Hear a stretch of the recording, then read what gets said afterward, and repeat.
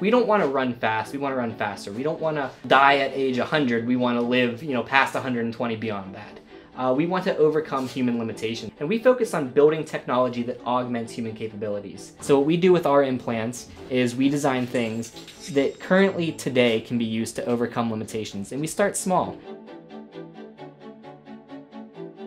Finger magnet implant is really interesting, because while it can do neat little party tricks, like pick up a pin or something like that, it can do much more than that. There's that. This is Jennifer. Hey.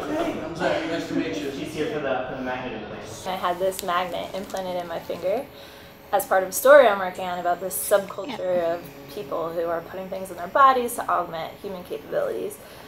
I have almost a sixth sense. I can feel these pulses coming from my phone or laptop or the microwave. I have to ask, was it painful?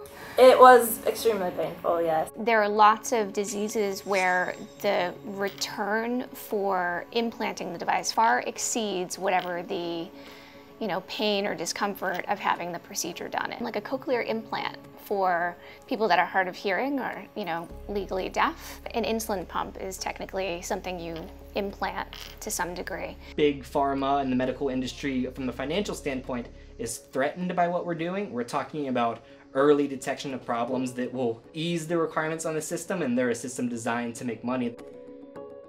We eventually want to go much further than that and work with neurochemistry. Things like serotonin, things like dopamine, things like oxytocin.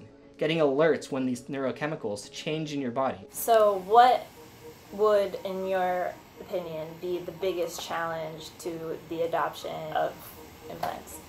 So I think the biggest challenge is always getting through FDA approval. If you look at what the FDA has done, you know, they've basically said if it's invasive, if it's, it's an implant, then it has to go through FDA approval for medical devices. Would a regular person without a medical condition be enticed to get an implant of some sort? So I think there's always a percentage of people that want to try new things. You know, the possibility of doing a microchip that you can put underneath the skin that contains your whole medical record or could identify people on battlefields in times of war. That's a space where I think there's you know, a little bit more debate about what makes sense and what's realistic and appropriate risk for return on investment. Right now, biohacking is a very niche thing. It's kind of underground, but that's really starting to change. And at some point shortly after five years, you're gonna be start to be looked at oddly if you don't have an implant, if you're not augmented in some way.